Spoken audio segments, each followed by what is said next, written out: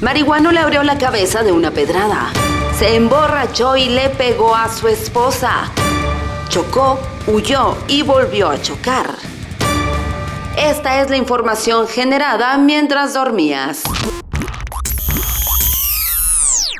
Mientras dormías, los agentes de la Policía Municipal detuvieron al joven Francisco Javier Adame Tabané, de 18 años de edad, quien fue señalado por otro muchacho de haberlo atacado con una piedra y haberle ocasionado una herida cortante en la cabeza. Esto en el Boulevard Dolores del Río, a la altura de la colonia Valle del Guadiana, presentando al momento de su aprehensión intoxicación por consumo de marihuana, por lo que fue puesto a disposición del Ministerio Público por el delito de lesiones.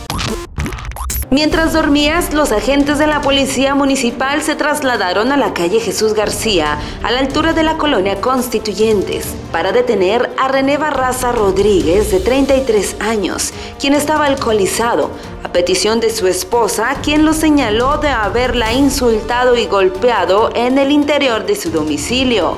Más tarde fue trasladado a los separos de la Fiscalía.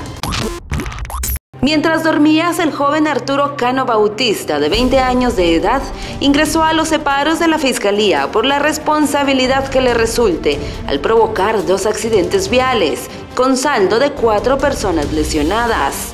Primeramente, el mencionado, a bordo de su pickup, chocó contra un taxi en la esquina de Yucatán y San Juan de la colonia San Carlos, para posteriormente darse a la fuga.